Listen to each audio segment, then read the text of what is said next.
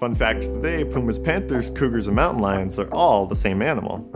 All technically cougars, or the scientific name puma concolor, the various monikers exist because people across the Americas gave the cats different names.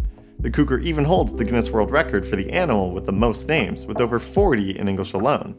Bonus fact cougars are closer in lineage to house cats than to lions, and are the largest of the small cat species.